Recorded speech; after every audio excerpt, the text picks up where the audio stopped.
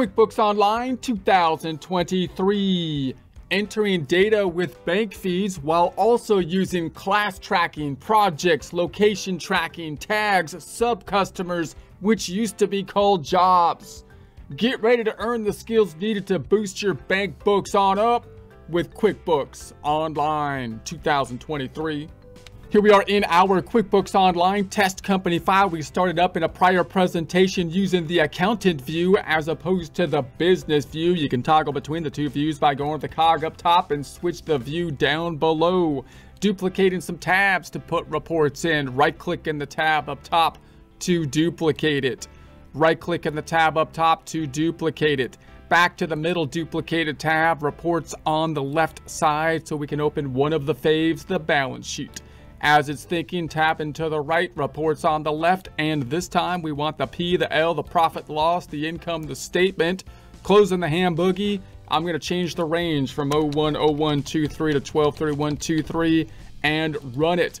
Now I've cleaned out the reports by basically just going into the transaction detail or drilling down on the reports, zooming in to each transaction, and deleting the transaction in our test company file so we have a fairly clean report. You don't necessarily need to do that for this practice problem. Support accounting instruction by clicking the link below giving you a free month membership to all of the content on our website broken out by category, further broken out by course. Each course then organized in a logical, reasonable fashion, making it much more easy to find what you need than can be done on a YouTube page. We also include added resources such as Excel practice problems, PDF files, and more like QuickBooks backup files when applicable. So once again, click the link below for a free month membership to our website and all the content on it. I'm going to tab to the left now and close the ham boogie, change the range 010123 123123 and run it.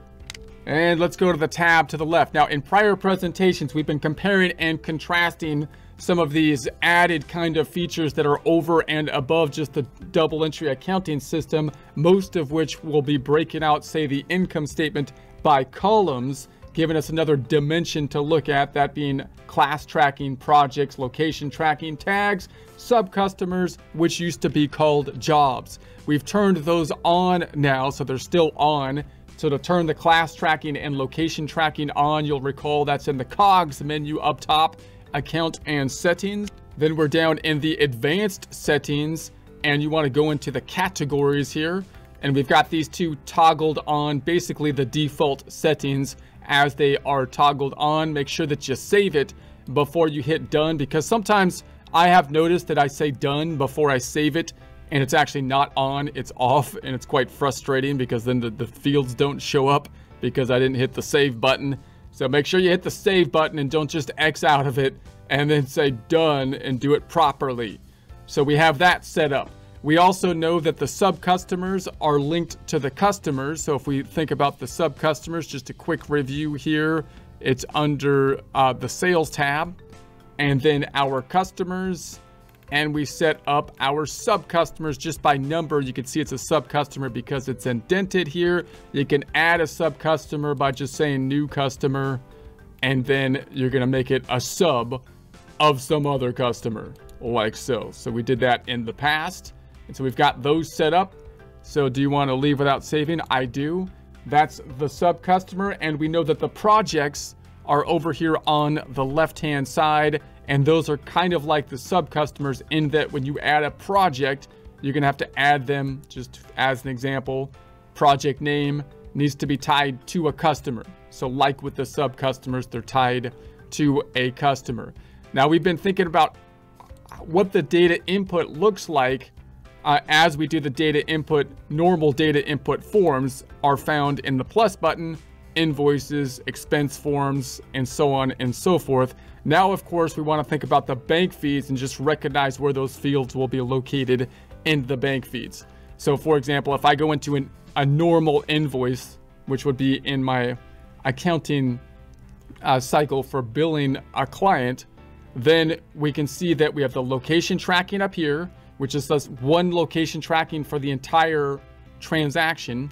That's how location tracking works. The tags are here, so I can add tags there.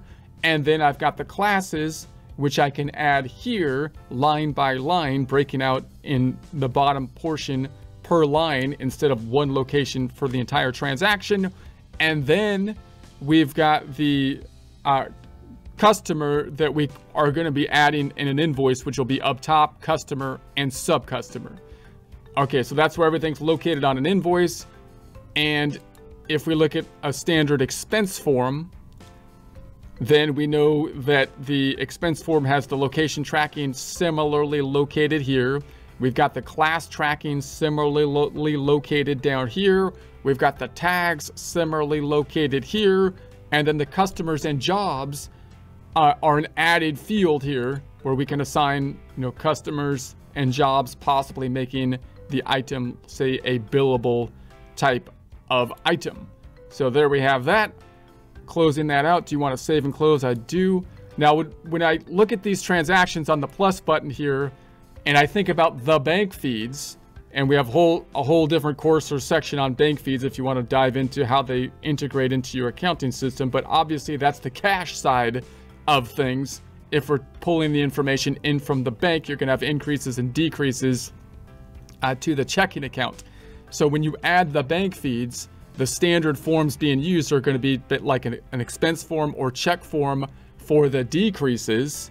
Uh, and but the format will look a little bit different on the bank feeds because we're pulling it in from the bank than a standard expense form. However, when we actually record them, they'll show up as basically like an expense form decreasing the, the checking account. The other transaction is generally going to be a deposit, those being increases to the checking account. And so we'll enter a deposit form. Now note, uh, when we're doing a full accounting cycle on the revenue generation form, we usually don't use a deposit. We usually use an invoice if it's an accrual concept or a, an accrual system we're using or a sales receipt. But these two aren't normally what comes into the bank feeds because what comes into the bank feeds is just going to be simply the deposit uh, form generally. So, okay, so given that, we're going to go over to the bank feeds. So those are going to be located on the left-hand side, banking. And I've added just some test data so I can I can uh, see some transactions down here in the bank feeds. Now, if you want to add test data to like to, to your to, to your test file without actually connecting to the bank. You could connect to the bank or you could download transactions from your bank. Uh, or you can just make an Excel worksheet with transactions. So I just made an Excel worksheet here and it looks like this.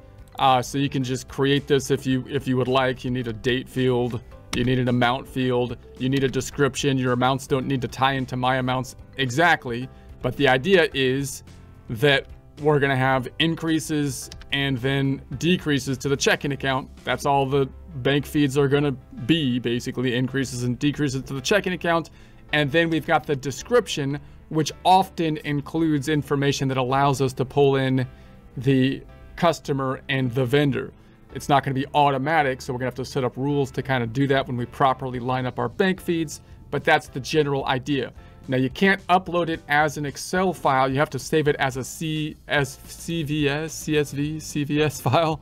So in you, how to do that, you go to the File tab up top, Save As, and then Browse. And then instead of this being an Excel file, you want to make it a CSV file, which is a comma delimited, delimited file, which can open in Excel, but it's really just like a comma splice set of data that doesn't have any Excel kind of formatting in it.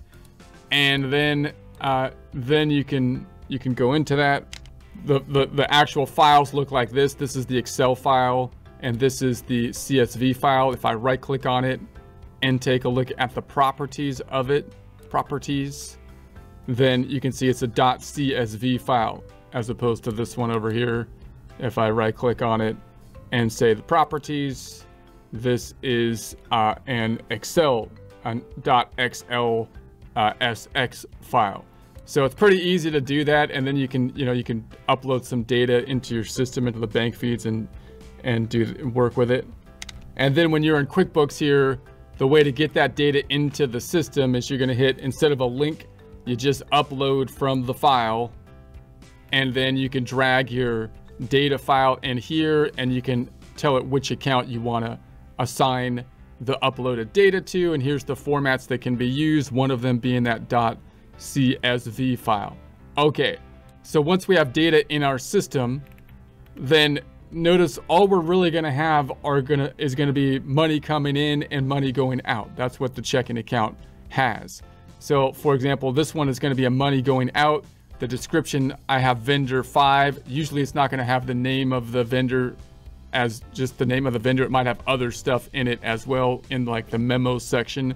But if it's a bank fee transaction then it might include data that will have the vendor in it making it easy for us to record this. So if I was to record this into the bank feeds and then add the class tracking and, and the projects and all the other stuff. Let's see where it is located.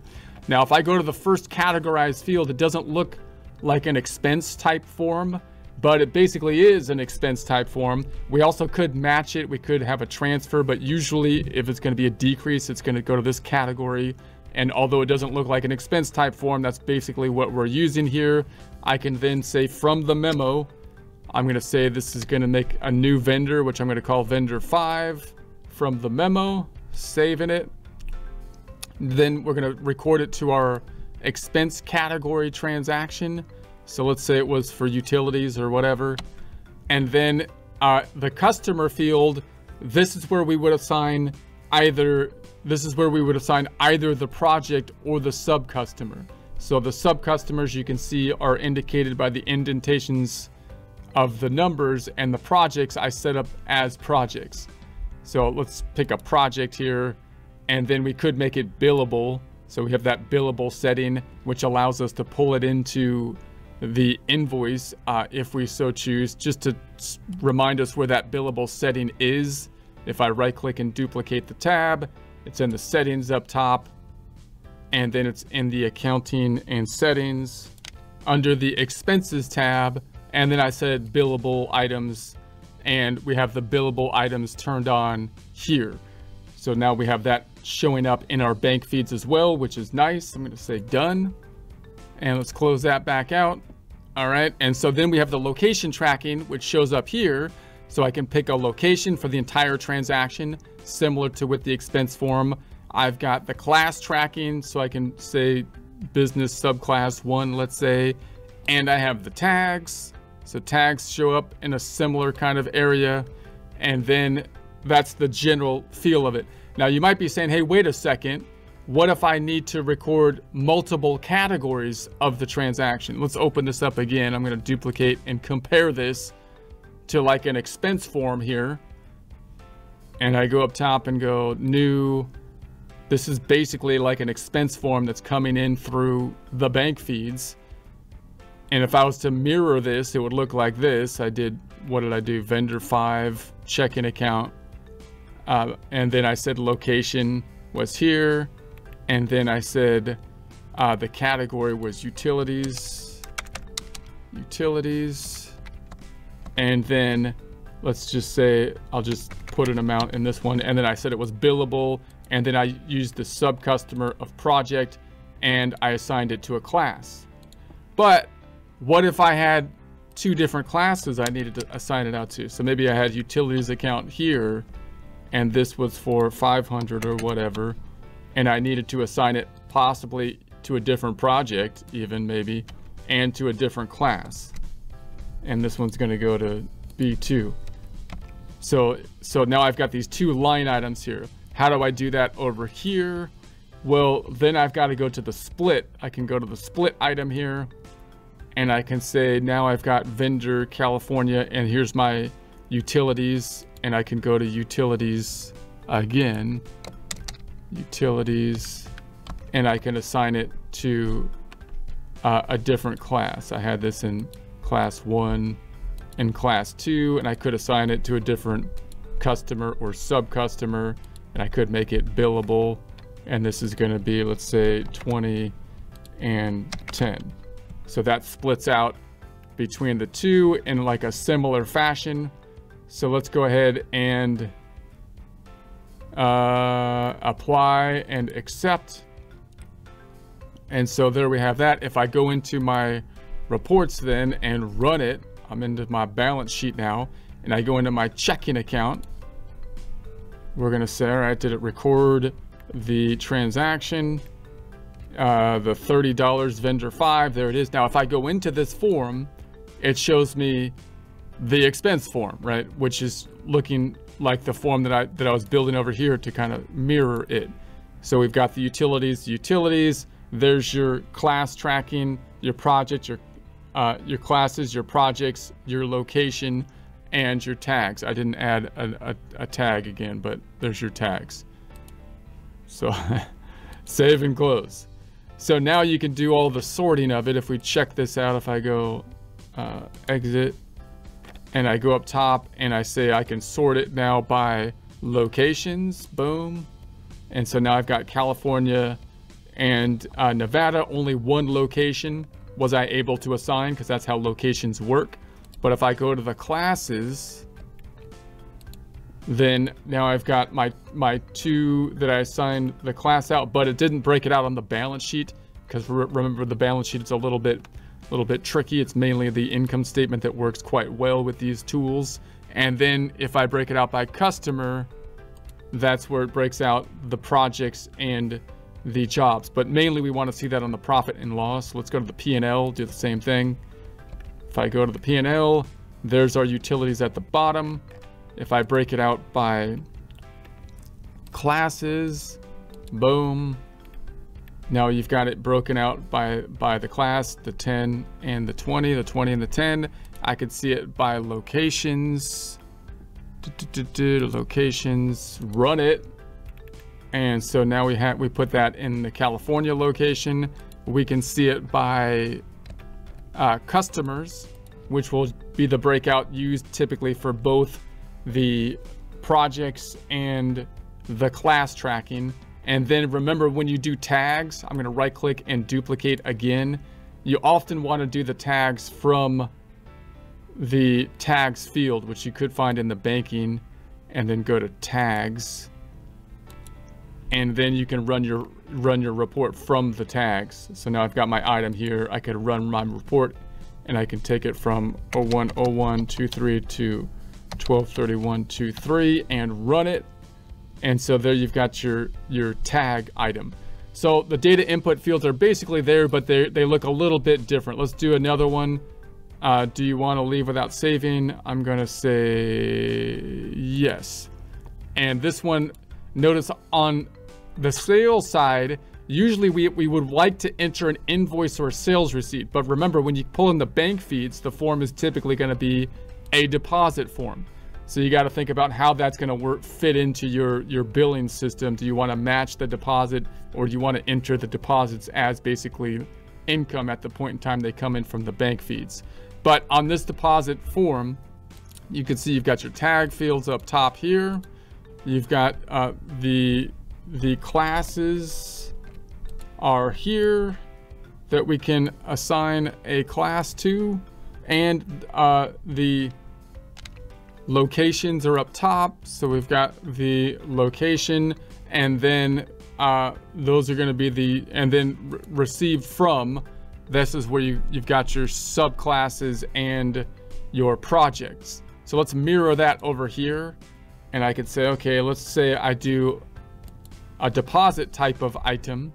And so, so the, this would be a received. I put vendor. It should be a customer, I would think. Here's a customer one. Let's do this one, and we're going to say this is going to be customer number one or customer two. So I'll put that in here. There's customer number two.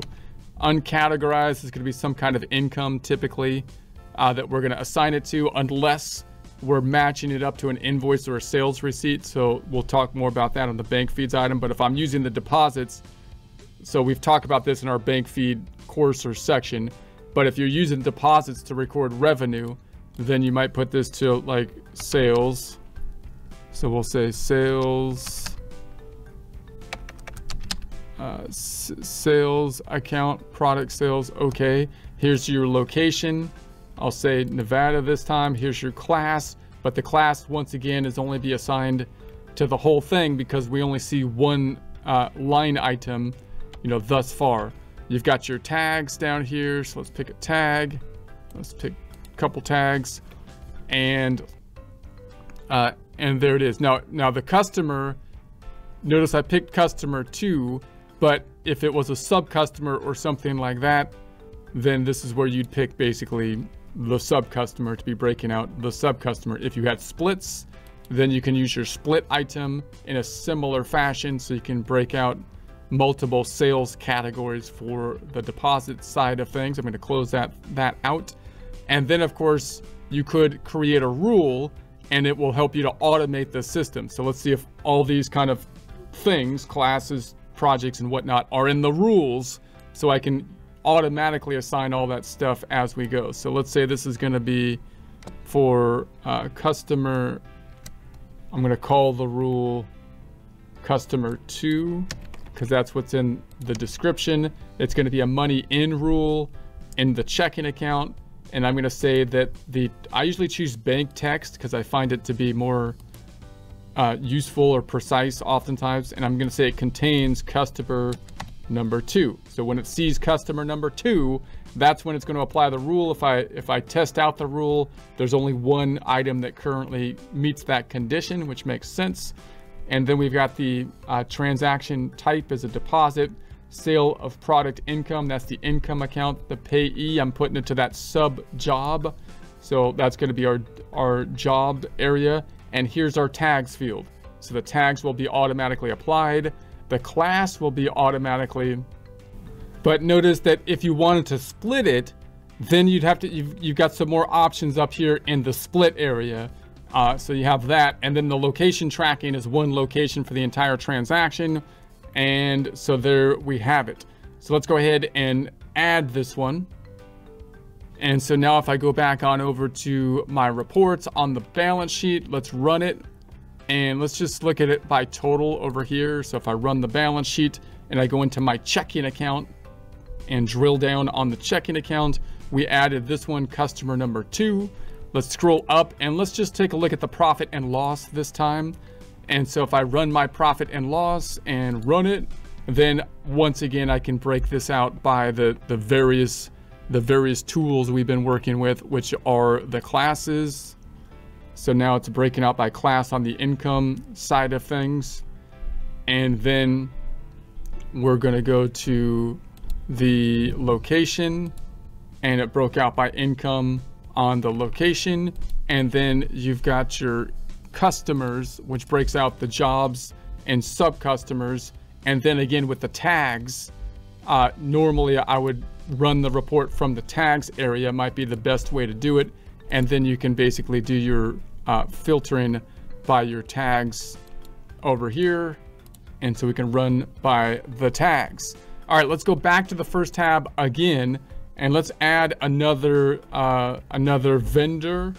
This would be like an expense or money out and just add a rule with it just so we can see what the rule looks like. So this is going to be vendor one. It's going to utilities again. Let's say this was let's say this is going to go to supplies. Supplies and then I'm going to assign it to this time let's pick pick a uh, job or sub customer. We're going to make it billable it's going to go to location uh, Nevada. The class I'm going to assign will be personal, let's say this time. Tags, let's pick a couple tags that we can assign out. And boom. And there we have it. So I'm not going to split it this time, but instead just go to create the rule. I want a rule. There's got to be rules here. There's got to be some rules. Can't have anarchy crying out loud. It's a money out. So we're going to say description. I'll pick the bank text again. Contains vendor one. If I test it, then it's picking up two transactions. It's going to pick up with this rule. Okay. Expenses, it's going to go to the supplies account, the payee, the customer. This is where we're choosing the sub customer this time. That's where you pick the sub customer or job. So I can run the sales report by sub customer or job. It's picking up the tags. It's picking up the class, but it's applying the class to the full transaction. If I wanted more detail, I can go to the splits. And then I've got my location, Nevada, and then uh, that looks good. So let's notice it's auto adding too, so it's going to add them automatically. If I turn that off, by the way, and I save this, then it first gives me another little check before it adds it, which is kind of neat or good when you first start out. But I'll, but then you're to probably auto add them because it's super fast to do it that way. And then your rules are being created over here. Boom. Rules. You can adjust your rules if you so choose. If I pull that into my balance sheet, it's just so cool. I don't know how, there's no other word to describe it. Anyways, so those pulled in. And then I'm gonna go on the expense side and exit this profit and loss, run it. We can see it by all the various stuff, locations, for example, por ejemplo, uh, we had locations for the supplies, and then we had the class tracking, class tracking for uh, the supplies. We had then breaking it out by customers. So we had by location or or the uh, uh, job, and then of course you can do it by tags again. So if I go back to the tab to the left, one more one more thing is that you can obviously you can think about the rules and then add the splits. So let's do one more money out, which is more likely where you're going to add, you know, the splits to have multiple classes, for example. Vendor, let's say this time vendor three is going to go to, do I have any other? I have a miscellaneous expense. vendor three is very mysterious. we put it into miscellaneous. This is going to be project project uh, two or one, let's say, billable location. Let's just choose this location. Let's say this is business two or whatever. Tags, boom, tags, boom. And then I'm going to create a rule with it. And this is going to be vendor three rule. Money out and all. I like choosing text vendor 3, does it match up to anything? One transaction, MUI B to the N, BN, expense, miscellaneous, vendor. All right, tags are being applied, location, but I want to split out that location possibly by, by line item. So I can hit the split button and then we've got some options uh, for, for splitting out the transaction. So on a percent or dollar amount basis, if you're going to do a rule for it, then you might need like a percent breakout so it can kind of automatically break it out oftentimes. So let's say it's going to be 40% miscellaneous and it goes to class two, or let's just say straight up business. And then let's say it's going to be, uh, uh, this should be 40 and this is going to be 60. 60%. This also goes to miscellaneous but we're choosing a separate class, which is going to be personal. So you can set up your rules, something like that, vendor, project, and uh, so that's the general, that's the general setup. So let's save it and close it and check it out. And so there's our split rule that we put into, what's the expense account? Miscellaneous. It's the mysterious miscellaneous. Profit and loss, run it, and uh, we're gonna check it out by class boom and then in the miscellaneous it broke out the classes there beautifully so so that's how so the class tracking is pretty all these tools class tracking projects location tracking tags sub customers which used to be known as jobs are are pretty you can utilize them pretty well uh, using the bank feeds to kind of help you to integrate and automate your transactions. It's going to look a little bit different in the bank feeds, but remember that the bank feeds are basically recording for the most part the same. Do you want to leave the same transactions from this window, but it's only the banking transactions, which means deposits are usually the forms for increases and the expense form or check forms, usually expense forms because they're electronic transfers, would be the decrease to the checking account, but the data input windows look a little bit different. but but you do have a they're done a pretty good job to have a lot of flexibility to add all these this added level of uh, complexity for breaking out mainly the income statement with the class tracking project location tracking tags sub customers which used to be known as jobs